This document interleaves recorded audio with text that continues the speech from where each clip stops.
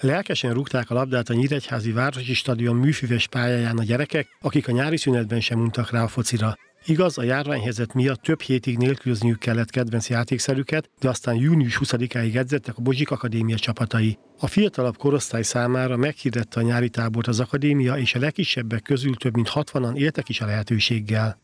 Egy olyan 65 gyerek vett részt a két hét alatt, az első héten többen, a második héten kevesebben, és a 8, U8-as korosztálytól egész az U12-esig jöttek gyerekek, de van 13-as is.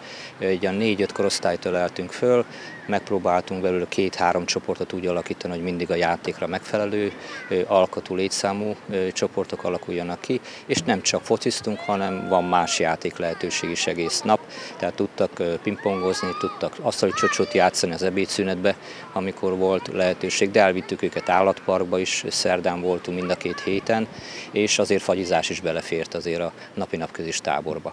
A gyerekek felügyeletét fiatal szakemberek látták el, akik számára egyben tanulási lehetőséget is jelentettek a közös napok.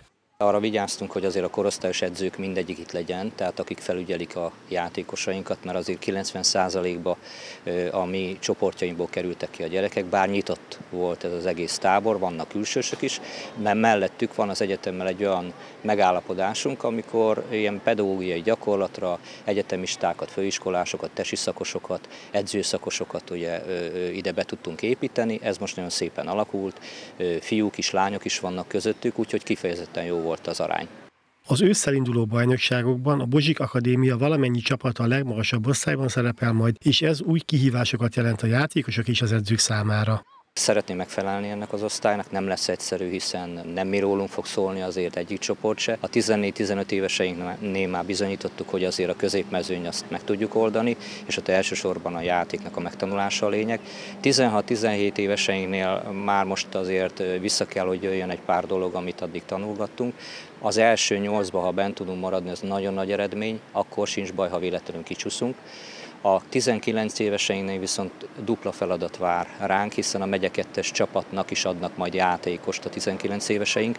Ott bár azt mondják, hogy nem számít az eredmény, de azért mégiscsak ők az ászlós hajónk. Tehát az azt jelenti, hogy az akadémiának a utolsó éves hallgatói, úgyhogy azért szeretnénk ott is azért jó szerepelni.